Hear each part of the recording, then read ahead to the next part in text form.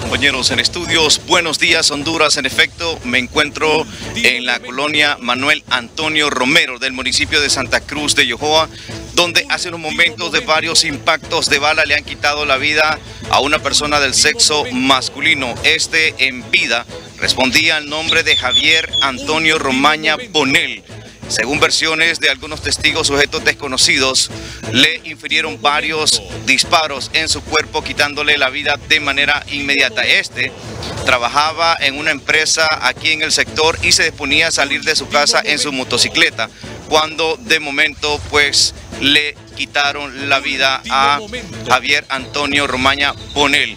Ya en este lugar se encuentra la policía de Santa Cruz de Yojoa y esperando que venga medicina forense para hacer el levantamiento correspondiente. Con la cámara de Karen Sierra, soy Pablo Chavarría para Hable como habla Televisión Digital.